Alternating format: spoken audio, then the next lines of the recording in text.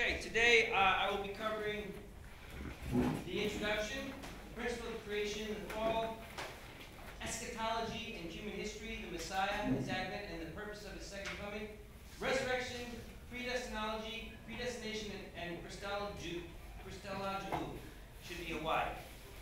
My apologies. Okay. Introduction. Okay. Every human being is struggling to attain lifelong happiness and overcome misfortune. From commonplace affairs of individuals to great events that shape the course of human history, each is at its root expression of human aspiration for ever greater, hap- ever greater happiness. Then how will that come about? Well, people feel joy when their desire is fulfilled.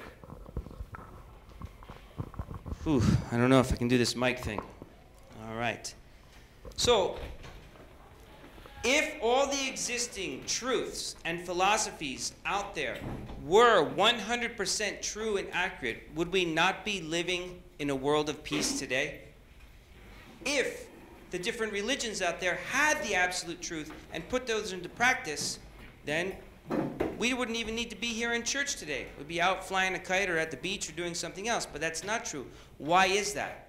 Because there is an inherent contradiction within individuals that drives us in the direction of evil rather in the direction of good. The good news is we were born with an original mind that pulls us in the right direction. So if an individual has this contradiction within himself, then the family he creates will have this contradiction. Then his community will have that contradiction. The nation that he lives in will embody that contradiction. The world he lives in will have that contradiction. And then history will actually be a history of contradiction. Is there anybody in this room who can argue that the world history is one of contradiction, pain, and suffering? We all get it, right?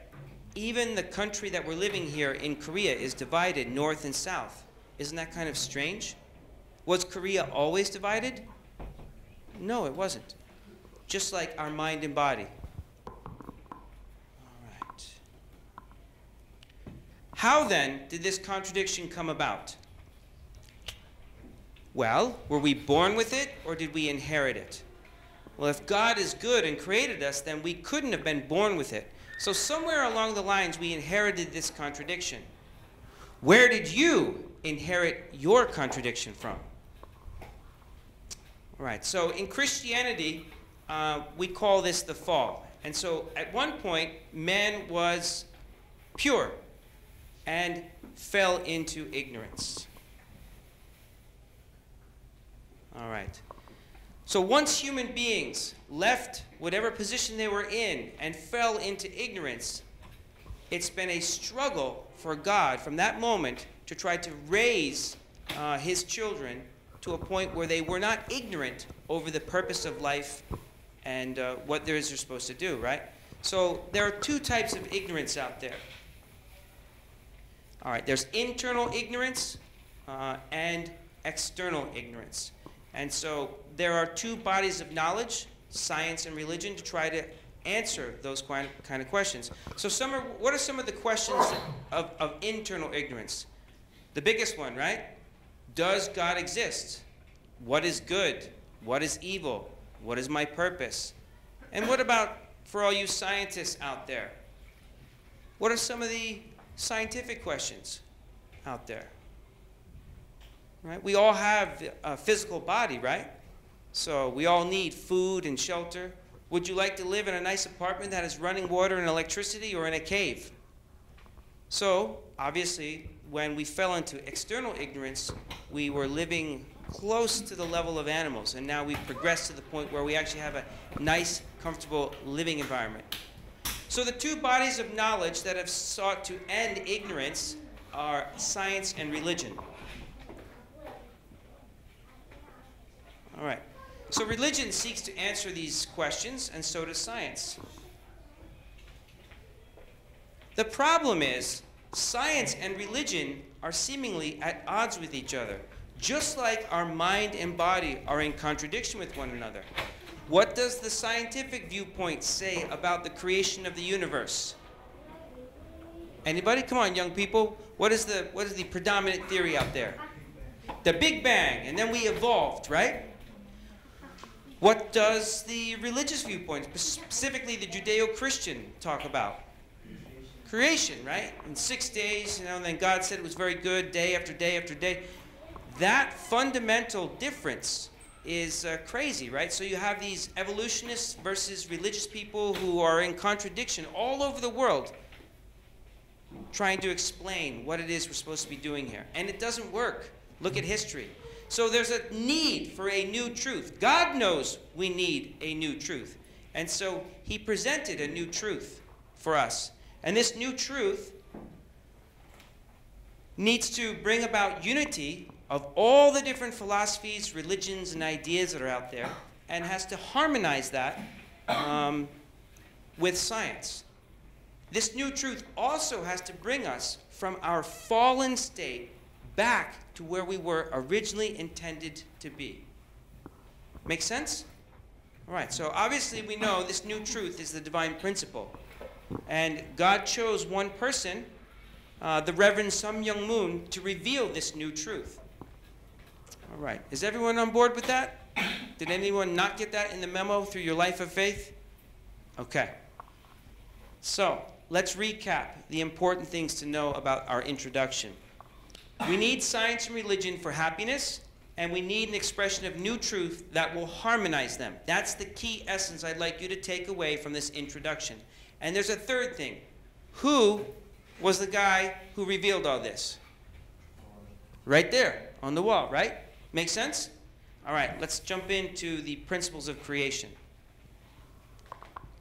How am I doing for time? We'll see. All right.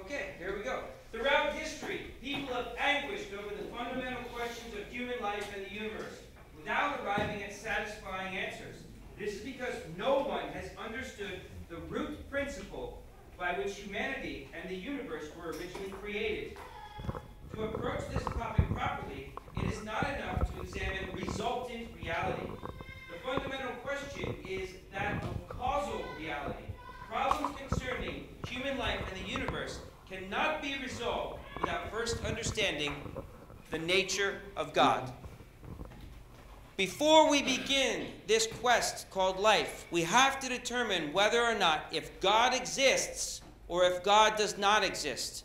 Someone who lives a life centered on God versus someone who lives a life without God will live two vastly different lifestyles. And then there's people in between that have some sort of vague concept of God and their lifestyle is accordingly. Does that make sense? Okay.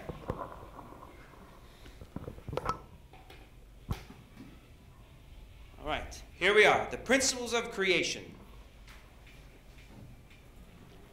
Okay, God is the causal reality of the universe. So then, how can we come to know this causal reality? My good GOP student, when's the last time you saw God? I would imagine it's today if you are aware. Did you see God today? You're not sure, are you? That's a good thing you're here. We're going to go into this. All right. Okay. Ever since the creation of the world, his invisible nature, namely his eternal power and deity, has been clearly perceived in the things that have been made so they are without excuse. Romans 1:20. So by studying the resultant reality, we can come to understand about the nature of the cause. So today, while you're on the subway or wherever you go, you could be looking around and observing, and through observing the creation around you, you might be able to figure out something about the causal reality.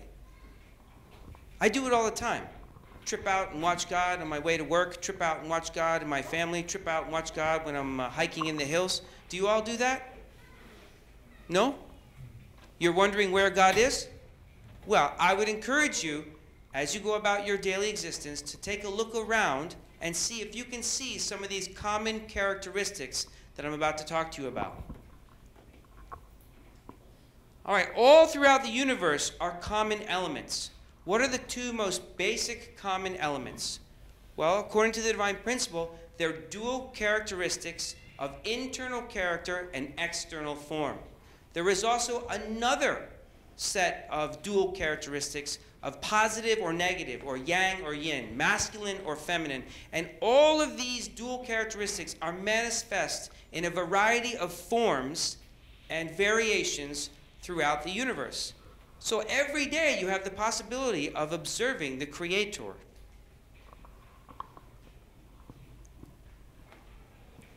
All right.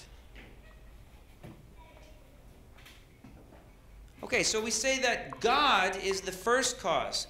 God is the original internal character and the original external form, the original masculinity and the original femininity. And He put a little bit of that in everything around the world, everything in the creation. You can break it down. Uh, how many uh, how many chemistry nerds I got in here?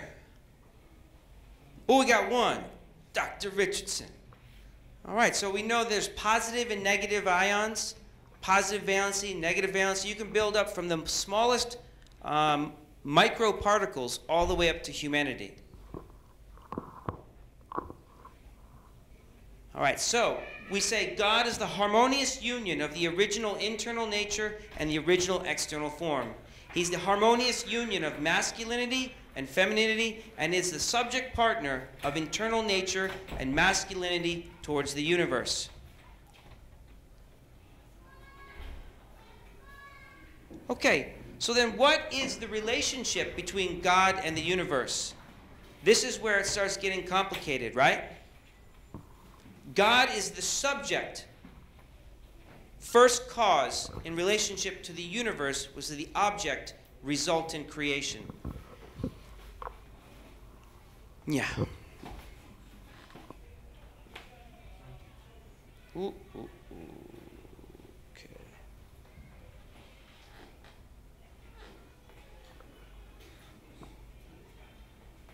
Okay, so we can look up on this chart here. Uh, it kind of breaks it down. God is the origin, and he divides himself into a subject and object, and then through give and take action, that subject and object form a union. And um, this revolves. This, this model is not actually accurate. It's, it's not a plane. It's more of a spherical nature. So of those you guys who study chemistry and atoms and molecules, you can see it's more of a spherical um, process. Okay, when each of the four then act as a subject partner and enters into give and take with the other three revolving around it, they fulfill the three object purpose. So in order for anything to be stable in the universe, there's need to be three supports. Does that make sense? All right, I hope so.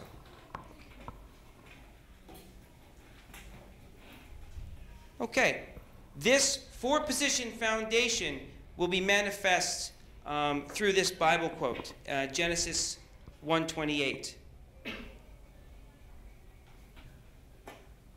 God blessed them, and God said to them, Be fruitful and multiply and fill the earth and subdue it, and have dominion over the fish in the sea and over the birds of the air and over every living thing that moves upon the earth. So God gave us a, a blueprint through this four position foundation, and I don't have time to go into. Uh, the give and take action, universal prime force, and all the little microcosms because we have six more chapters to go through, and I want to touch on the wave top. So I'm kind of blowing through it. But I believe most of you are familiar with the four position foundation and how action and energy is produced. Yeah? And if you don't, please hit me up afterwards and we can talk about it in detail.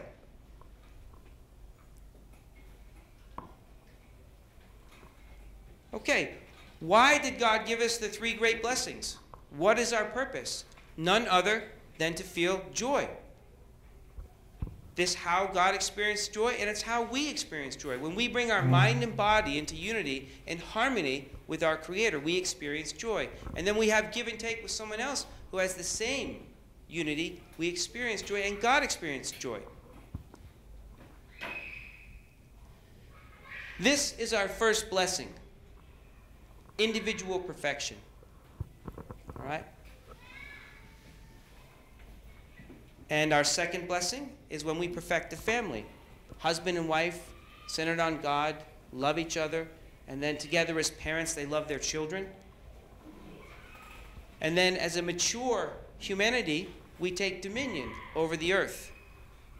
And uh, we can see that this is our blueprint. So, is everyone clear that the three great blessings is the blueprint that God wanted to experience joy and happiness through, and that we will experience joy and happiness through? All right, now, does this happen automatically? It takes a time period, there's a process of growth. So, I wasn't born like this. I didn't jump out of my, uh, my mother's womb like this. I actually spent some time growing. And everything uh, in the universe is created to go through a growing period of formation, growth, and completion. Okay, I want to jump straight to the point. So, all things of the creation follow the principle and have a certain autonomy in which they grow through their formation, growth, and completion. But human beings are different. We do follow the autonomy of the principle, but we also have a portion of responsibility in which to develop ourselves. And through this portion of responsibility, we leave the indirect dominion and actually mature where we can be in the indirect dominion and actually commune with God. Now, I would like to venture to say how many people here in this room have actually gone through their growing period and are actually in the direct dominion of God where God is speaking to you and relating to you every minute of every day. Is there anybody here who's made it through to the direct dominion? Maybe you've had an experience where you were in the direct dominion for a short time, right? And therefore had this uh, kind of conversion experience.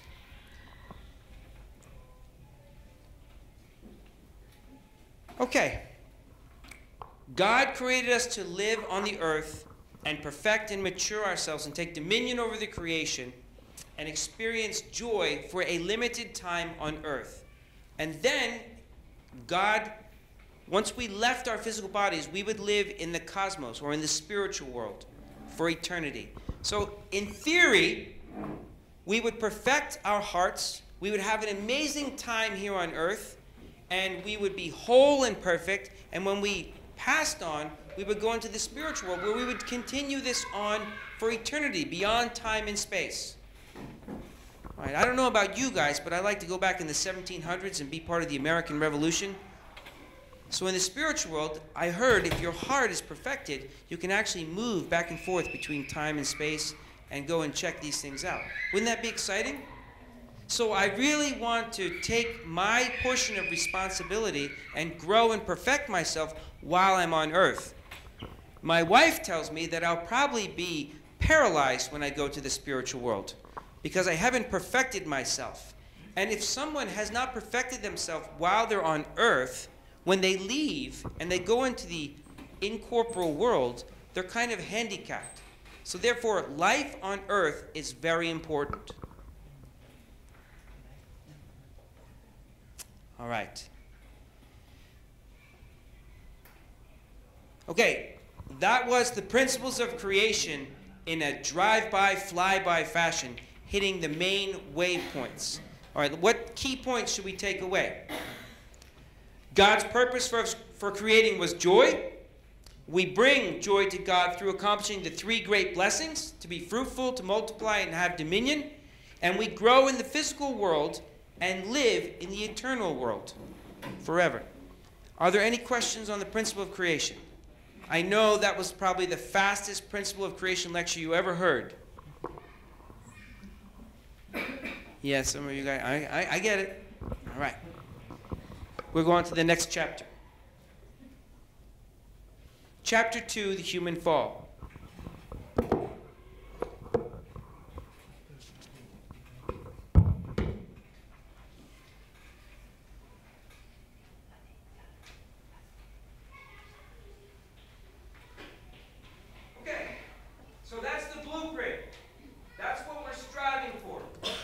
went wrong. All right? We're going to take a little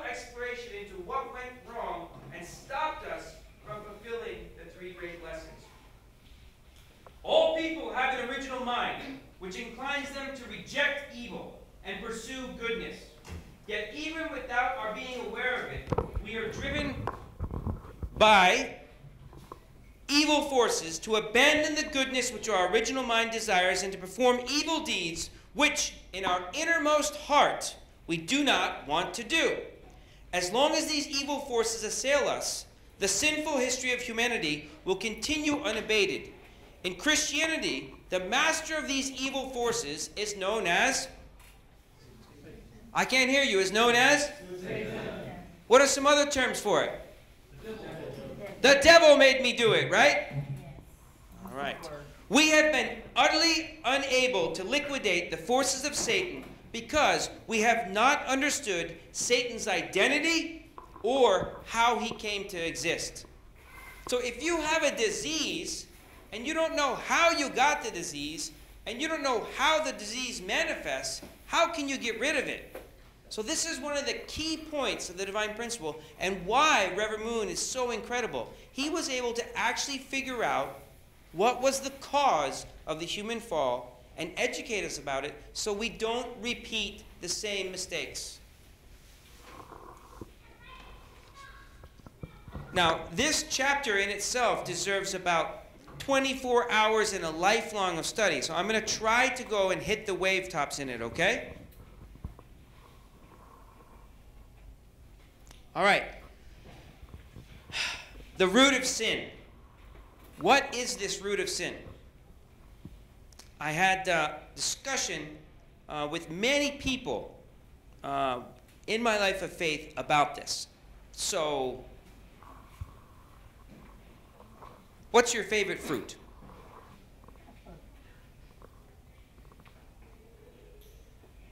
You don't have a favorite fruit? Come on, I find that hard to believe. What is your favorite fruit? Avocado. All right. Wow. That's unique. Be jonesing for some avocados. All right. So in the story of uh, Adam and Eve, we have Adam and Eve in the Garden of Eden. We have a uh, serpent. Uh, we have a tree of life and the tree of the knowledge of good and evil. And the traditional story is uh, because Eve didn't listen to um, God that she ate, to take a, took a bite out of the apple, right? And as a result of eating this fruit, somehow we deviated from our original purpose. Once again, I'm going to ask you, what is your favorite fruit?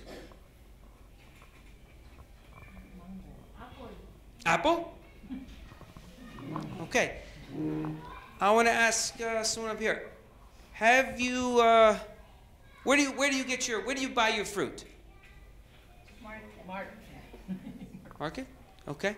Have you ever seen any fruit of the tree of the knowledge of good and evil for sale in the market where you go shopping? No. That's strange. Well, it was there when Adam and Eve were around, so why aren't they selling it now? And if it's not here anymore, then why are people acting evil? Because this is the fruit that caused us to deviate. You guys like going out into nature?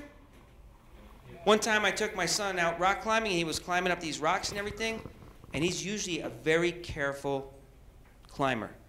He was up about hmm, 10 meters, and suddenly he just dropped. When he climbed up the rock, on the next ledge he was going up to was a snake staring him right in the face. And Matt just said, I'm out. Shoot! Came straight down. So sometimes in nature, especially in California, um, there are a lot of snakes out there. In fact, I've had to catch several rattlesnakes. Um, I even got bit by a few snakes. All right, so in the Garden of Eden, there was a snake. Every snake that I've uh, encountered never spoke a word to me. I even tried talking to him. Hey man, can you move along? I got to get through here. So, my point is, driving this home, that this story can be interpreted literally or symbolically. And so, according to Reverend Moon, this is a symbolic story. And if we can understand the symbolism of this story, then we can understand what the root of sin is. Does that make sense? Yes. All right. All right, so we take a look at the Bible as our reference source. And I want to read this. And, the, and out of the ground the Lord made to grow every tree that is pleasant to the sight and good for food. The tree of life also in the midst of the garden, and the tree of the knowledge of good and evil. So I'm just going to jump to the conclusions. The tree of life is a symbol for perfected Adam. And the tree of the knowledge of good and evil is a symbol for perfected Eve. Then what is the fruit? What symbolizes the fruit? And then what symbolizes what what is this talking snake? Anyone know? All right, so let's study our Bibles a little bit more. We can glean something here. But the serpent said to the woman, You will not die, for God knows that when you eat of it, your eyes will be opened and you will be like God, knowing good and evil. So we got this snake talking to Eve, saying, Hey, this fruit's good. Go ahead, have a bite. It's delicious. In fact, when you eat this fruit, your eyes will be opened. In Peter, we find another verse, verse very curious. For if God did not spare the angels when they sinned, but cast them into hell and committed them to the pits of the nether gloom to be kept until the judgment. And the angels that did not keep their own position, but left their proper dwelling, have been kept by him in eternal chains, just as Sodom and Gomorrah and the surrounding cities, which likewise acted immorally and indulged in unnatural lust serve as an example. So in Jude 6 7, we understand that they acted immorally and indulged in unnatural lust. So, once Adam and Eve ate of this fruit, they realized their eyes were both opened and they knew they were naked, and they sewed fig leaves together and made themselves aprons. So, making a, in the divine principle, it goes into detail about the identity of this talking snake. But I'm just going to jump the gun here and explain that this serpent was a symbol for the archangel Lucifer. All right, so the root of sin in the first human ancestors came about through a sexual relationship between that archangel Lucifer and Eve, and then Eve seducing Adam.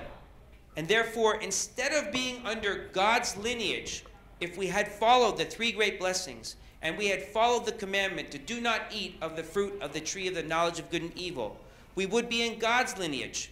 There would be no religion, there would be no church. We would have just populated the earth and enjoyed an amazing environment living together with our brothers and sisters and families. However, Adam and Eve deviated, and as a result, we've come under the dominion of Satan and are connected to his lineage. And therefore, we need to be restored and brought back. But then, how will God do this? How will God bring us back? Okay, so here are the key points I want you to take away by this flyby divine principle part one. The original sin was the misuse and corruption of love. Because of the fall, we could not fulfill the three great blessings. Because of the fall, we inherit Satan's fallen nature and the fallen lineage, and God's heart was broken. Now, I don't want to ask such a personal question to you. Have you ever had your heart broken? But I'll just tell you, I've had my heart broken, and then after I got over my heart being broken, I decided to stand up and take some action. That I'm not going to be a victim. And I'm sure God, in the same way, when he saw his children stolen away by the archangel Lucifer, then started developing a plan on how he was going to restore his children back to his bosom. And that's the next chapter we're going to talk about. Eschatology and human history. I've never really liked that word eschatology because I have no idea what it means and I have no idea how to put it in a sentence in normal conversation in day to day life. Have you ever gone up to your mm. comrades or your friends or your office workers and said, Hey, what's the eschatology of today going to be? It's a big college word. So, when we're confronted with big college words, what do we do? We go to Google. And according to Google, there's a number of references there. It, it's uh, eschatology means uh, the study of history, especially the events towards the end of the world. So we're going to take a look at the uh, history or the end of the world. In Christianity, this is referred to as the last days. So the meaning of the last days. Uh, what is the meaning of the last days? How do we know if we're in the last days? Because every generation of Christians, uh, going back a thousand years, thought that their time was the last days. Do you believe that you're living in the last days? Hmm, we're going to take a little look into this.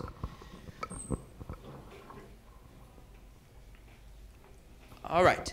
In the last days, what God will do is send the Messiah to the present era and eradicate hell on earth. So, this intersection between Satan's culture and God's culture is when the Messiah comes. And the Messiah brings a new truth, and through the people receiving this new truth, begin to eradicate Satan's culture and way of life and begin to establish God's dominion over the earth, God's sovereignty.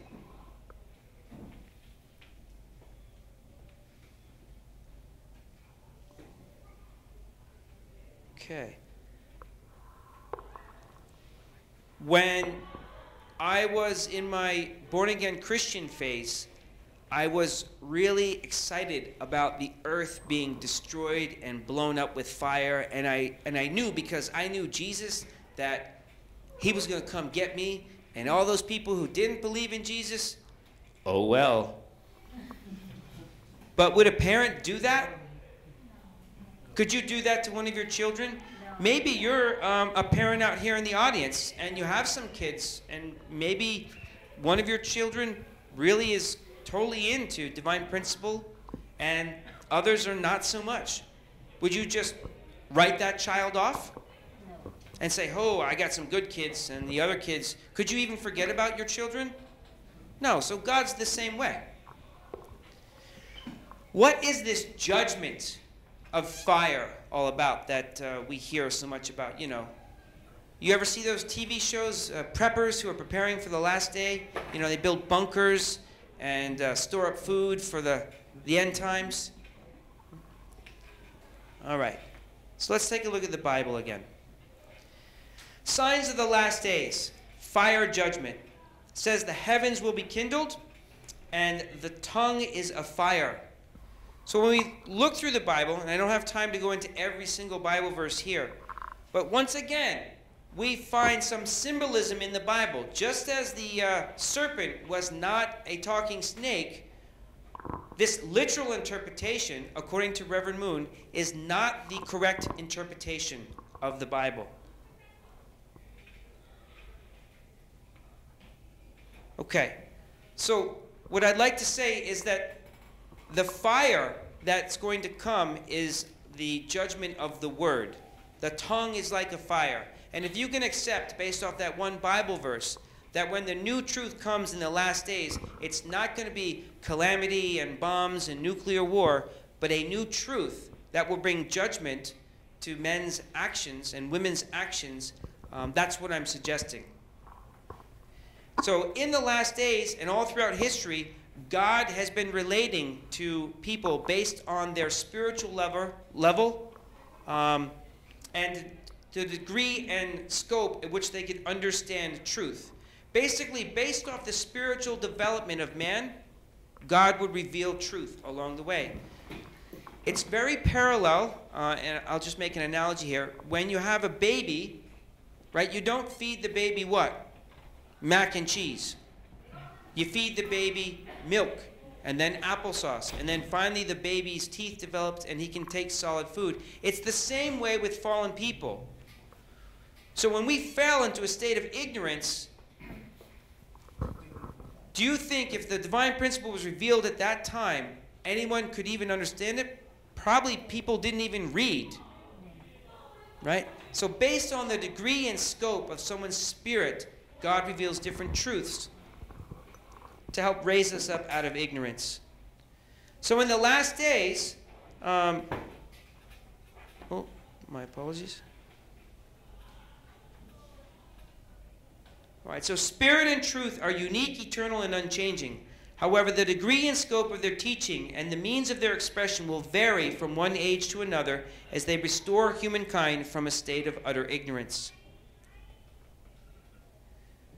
Okay, so this new truth has that purpose. This divine principle is now been revealed to us at this time in history. So therefore we can kind of synopsize that we are living in the last days. And once again, to understand our attitude and the new truth in the last days, you really need to take some time out and study the divine principle. I did not do this chapter justice, and I'm not sure how uh, in this time period I could. All right. So the key points. In the last days will be the end of Satan's control and establishment of God's dominion. It will not be a fiery apocalypse, but judgment by the word of truth. And God reveals his truth according to the age and culture. Can everyone take those key points with them? I see someone taking notes there, so you're going to have a good little synopsis of the divine principle. All right, here we go. Chapter 4, the Messiah. So we talked about this Messiah, right? This Messiah comes to reveal a new truth.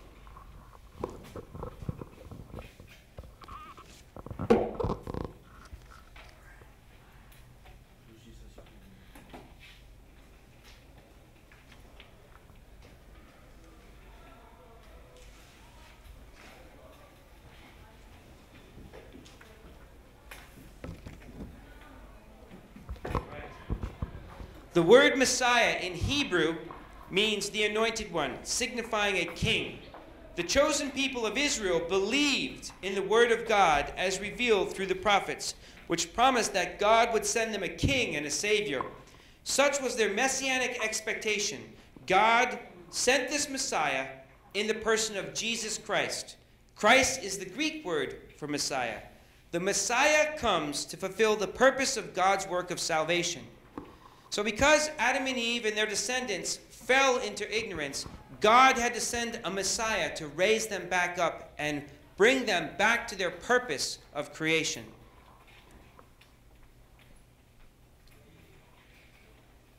All right. Jesus was sent to the Jewish people who have been raised up for 2,000 years. And there were many prophecies surrounding his birth. I don't have time to go into all the little details, but I'm sure you're all familiar with the Christian background surrounding Jesus. We know that Jesus was here uh, for 33 years on earth and gathered his disciples, and then he was miserably crucified. And today, many Christians believe that by believing in the cross of Jesus and his sacrifice on the cross, that they can fulfill the purpose of their creation. But if we go back to the principle of creation and we look at the three great blessings, we find a contradiction. I once brought my father to a divine principle lecture, and I showed him the principles of creation. And then we started talking about uh, Jesus. He goes, Well, if your divine principle is so true, then what happened to Jesus? So, just by seeing the three great blessings, he was able to deduce that there was a difference between Christianity and what we were saying. All right, so Jesus came as the Messiah in order to establish the kingdom of heaven on earth. All right. Then there is some there is a limitation of salvation through the cross, right? If Christianity and the Messiah, Jesus, had come 2,000 years ago and they had brought the absolute truth needed to reestablish the purpose of creation and to fulfill the three great blessings, would we be even here having this discussion? No, we wouldn't. All right, so has any believer uh, in Christ become one with God and been able to fulfill the purpose of creation? No, they haven't. When Christian families have children, are their children born without sin or do they need redemption through the cross? They need the cross, right? Why is that? Because in Christianity, the sin is passed down from generation to generation. All right. So even though Jesus died on the cross and made great sacrifices, the will of God to establish the three great blessings wasn't fulfilled. and therefore God needed to send another Messiah. So then, what do we gain through the cross? Does that just mean that Jesus' sacrifice is null and void?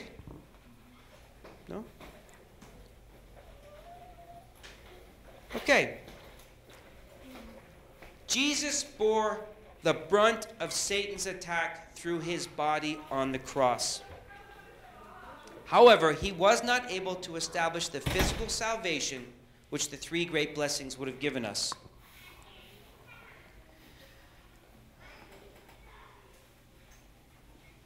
Yeah, I'll just read it straight.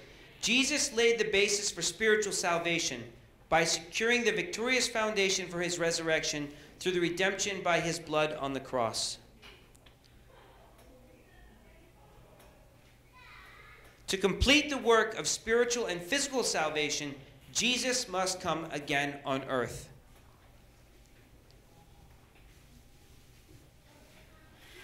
Jesus' death on the cross. I'm going to look at some Bible verses here. You stiff necked people, uncircumcised in heart and ears, you always resist the Holy Spirit, as your fathers did, so do you. Which of the prophets did not your fathers persecute? And they killed those who announced beforehand the coming of the righteous one, whom you have now betrayed and murdered. You who received the law as delivered by angels and did not keep it. Okay, so these are the words of Jesus' disciples. If his death on the cross was supposed to be, then why would his disciples be lamenting his death on the cross? If death, if Jesus' death on the cross was going to solve everything, and now we're back to square one, wouldn't they be happy? Like, yeah, Jesus did it. He died on the cross, and now we're free. But they were not happy.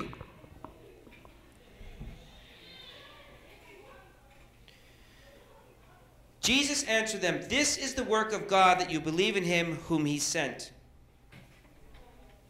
Judging from the viewpoint of God's providence, God called the chosen people of Israel and prepared them to receive the Messiah. All right, let's take a look at the words and deeds of Jesus. O Jerusalem, Jerusalem, killing the prophets and stoning those who are sent to you. How often would I have gathered your children together as a hen gathers her brood under her wings, and you would not? Matthew 23 37. But if I do them, even though you do not believe me, believe the works, that you may know and understand that the Father is in me and I am in the Father. So, we know, due to the ignorance and disbelief of the Jewish people, Jesus had to go the way of the cross. And God had to rework his plan to send another Messiah, his second coming. Why did that happen? Why did the Jewish people not accept Jesus?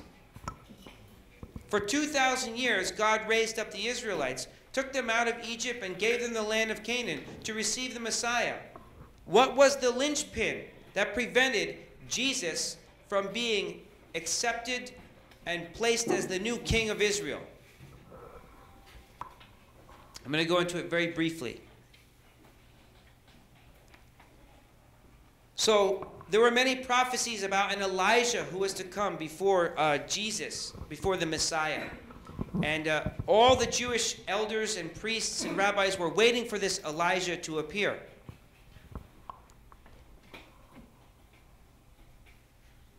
Behold, I will send you Elijah before the great and terrible day of the Lord. The Jews of Jesus' day were waiting for Elijah because God had promised them through the prophet Malachi that Elijah would return before the advent of the Messiah. So this was like a key indicator. Once Elijah shows up, that means the Messiah is going to come. So all the Jewish people were looking for this guy Elijah.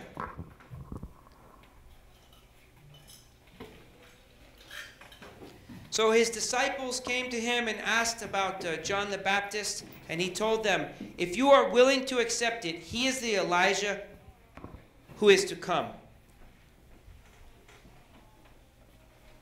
Elijah does come, and he is to restore all things.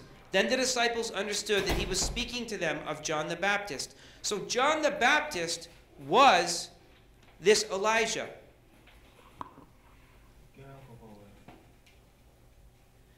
And this is the testimony of John when the Jews sent priests and Levites from Jerusalem, to ask him, Who are you? He confessed he did not deny, but confessed, I am not the Christ. And they asked him, What then? Are you the Elijah? He said, I am not. So John the Baptist did not understand who he was in relationship to Jesus. And as a result, because John the Baptist was a very well known and renowned and revered uh, Jew at the time, he was not able to testify to Jesus. And therefore, the Jewish people crucified Christ. I know that's a flyby, drive-by explanation of it. Very brief. All right.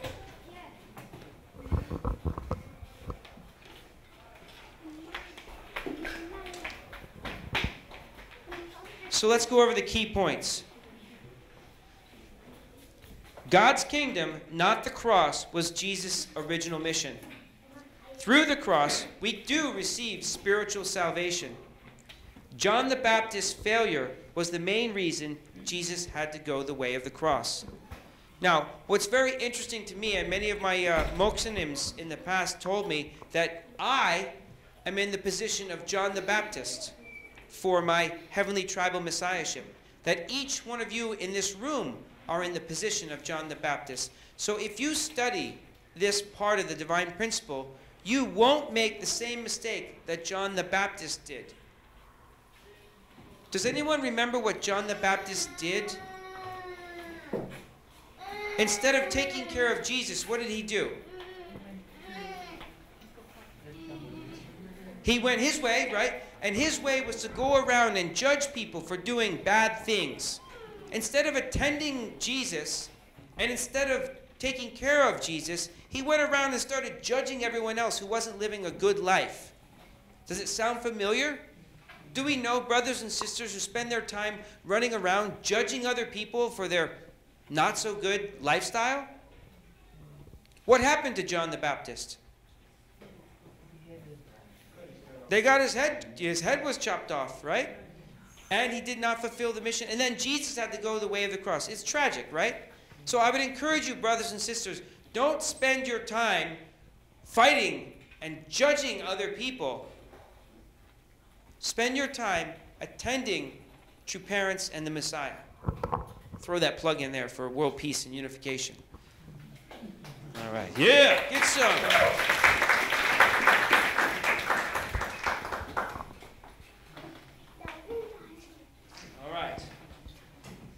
Resurrection.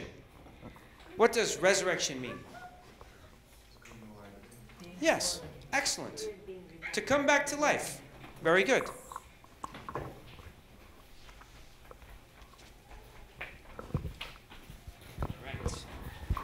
If we are to believe literally in the prophecies of Scripture, we should expect that when Jesus comes again, the saints will come back to life in the flesh their bodies buried in the earth and completely decomposed will be reconstituted to their original state. On the one hand, the prophecies are the Word of God, and as people of faith, we must accept them.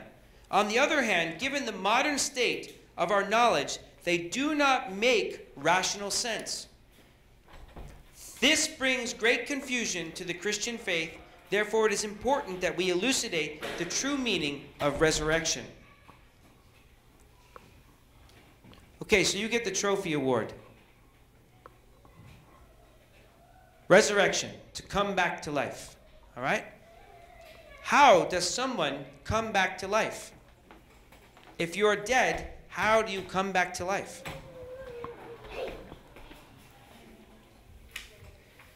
All right. When we study divine principle, we realize that the death they're talking about is symbolic in nature. The death means the death caused by the fall. So when Adam and Eve fell, they became spiritually dead, spiritually ignorant. So to restore, to resurrect, means to restore or resurrect one's spirit.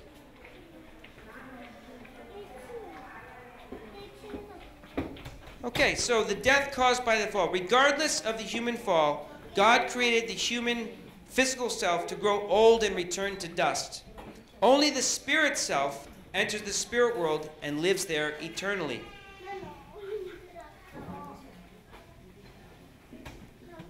All right, so we have the, um, the death caused by, by the fall. For in the day that you eat of it, you shall die. So when God gave the commandment to Adam and Eve, when Adam and Eve ate the fruit, did they physically die? They did not, correct? They were still alive. So what they're talking about is a spiritual death.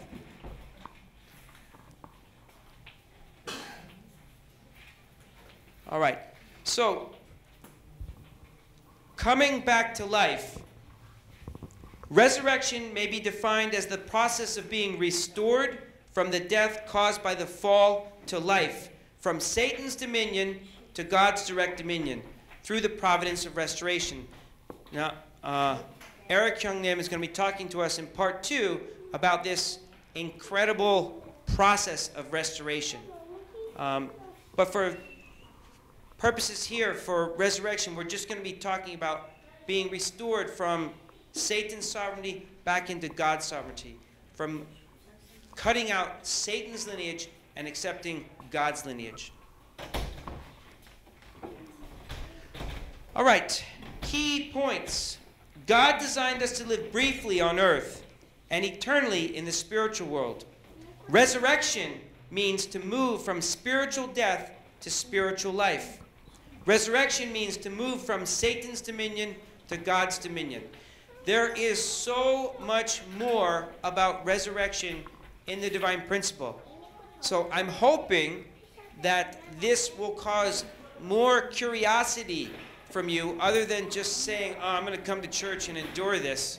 What I'm hoping is to dangle a little worm in front of your, your eyes and get you to look a little bit more deeply into the divine principle and figure out how then does that happen? If coming from spiritual death under Satan's dominion means coming back into God's grace, how would one do that? How will you do that? How will we do that as a society? All right. There is another concept within Christianity uh, called predestination. What do you think? It's caused a lot of confusion throughout history, so I want to address it here very briefly.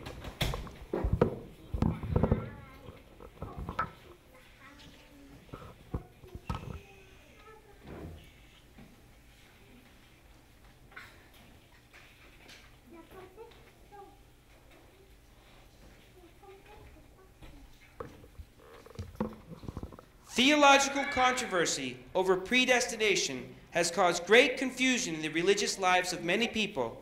Let us begin by examining the source of this controversy. In the Bible, we find many passages which are often interpreted to mean that everything in an individual's life prosperity and decline, happiness and misery, salvation and damnation, as well as the rise and fall of nations comes to pass exactly as predestined by God. In Romans 8:30, those he predestined he also called, and those he called he also justified, and those whom he justified he also glorified. We find some other verses there that say, I have shown mercy on whom I have mercy, and I will have compassion on whom I have compassion. So it depends not upon man's will or exertion, but upon God's mercy. So we're going to do a little uh, exploration of the Bible here to address this.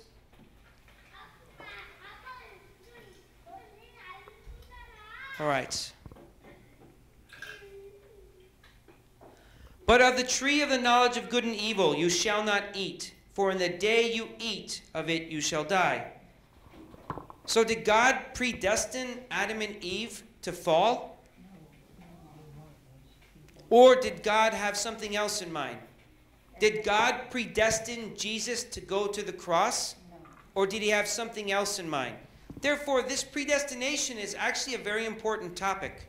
I'm not sure if I can do it justice here. And the Lord was sorry that he had made man on earth, and it grieved him to his heart.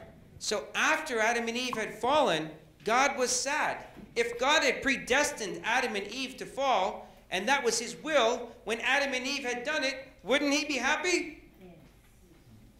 I know when my kids, when I set them up to do something and they accomplish it, it makes me happy. It's amazing. When you come home and the dishes are done without having to ask anything, wow. But that's not the case in this, in this, in this verse.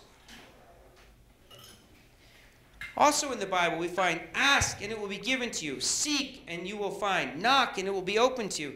So in this Bible verse, it says we have to actively pursue our life of faith. If your life of faith was predestined, then you really wouldn't have to do anything, right? You would just be perfect like that because God has predestined you to be perfect. So I'm trying to point out the contradictions here in some of these Bible verses. Is any among you sick? Let him call for the elders of the church and let him pray over him, anointing him with oil in the name of the Lord. So we can see that there's two different ideas here in the Bible. One, and a whole religious group has based their theology on this predestination concept, and others believe that we actually have some level of responsibility.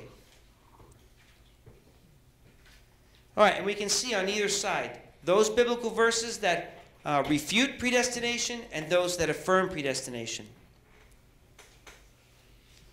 All right. So God's will is absolute, unique, eternal, and unchanging. And uh, I'm sorry, God is absolute, unique. Ah, uh, you go. Absolute, unique, eternal, unchanging. And therefore, God's will is absolute. It follows the same pattern. Okay.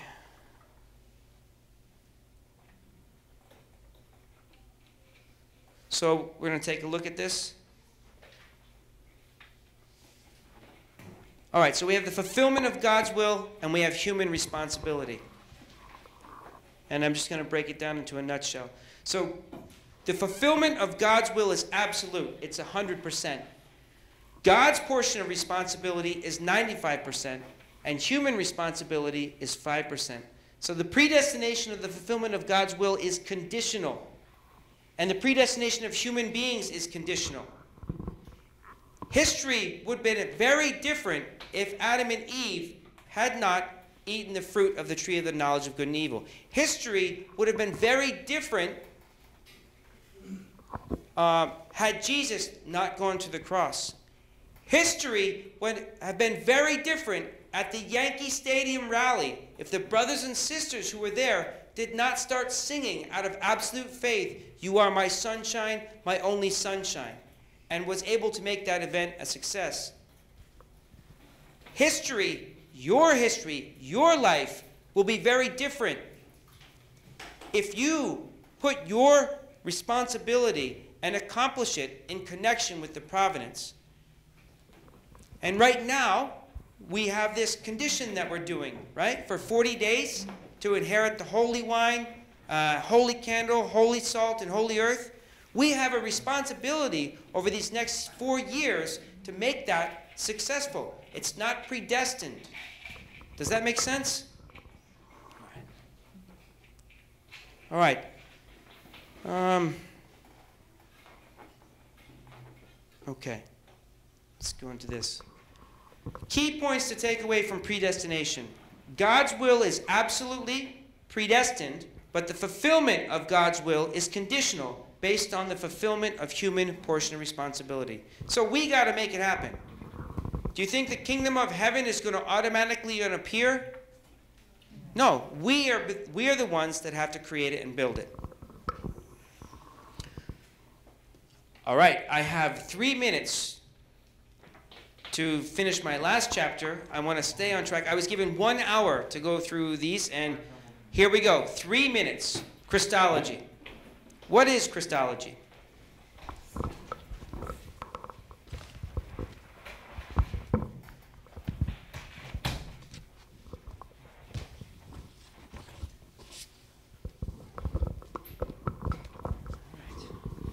For fallen people who seek salvation, Perhaps the most important questions among the many they must resolve con concern Christology. issues which fall within the scope include the Trinity, which deals with the relationship between God, Jesus, and the Holy Spirit, as well as the rebirth and the relationship between Jesus, the Holy Spirit, and fallen people. So we always go back to the principles of creation and the four position foundation. All right. And in Christianity, they have the doctrine of the, uh, the Trinity. So you have God and Jesus and the Holy Spirit, and through this, you're born again. So, as a Christian, if you accept Jesus and the Holy Spirit into your life, you can be born again. All right. The value of a person who has realized the purpose of creation is vastly different from this. Someone who lives together with God, with their mind and body united, becomes a perfected person who has divine value, unique existence, and is the same value of the cosmos. All right, this is the value of Jesus. Jesus came and perfected himself. For there is one God, and there is one mediator between God and men, the man Jesus Christ. 1 Timothy chapter 2 verse 5. He who has seen me has seen the Father.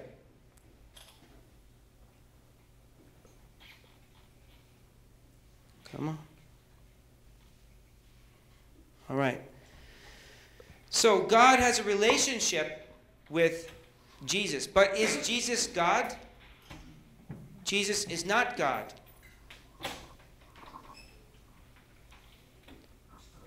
And so, in many uh, Christian circles, they believe that Jesus is actually God, God incarnate, God on earth.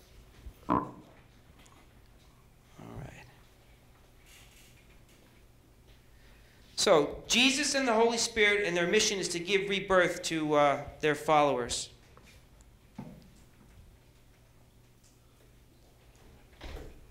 Uh, let's do this.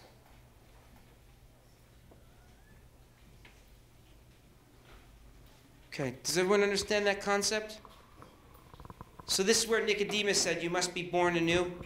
All right, so I'm just going to cruise through these. All right.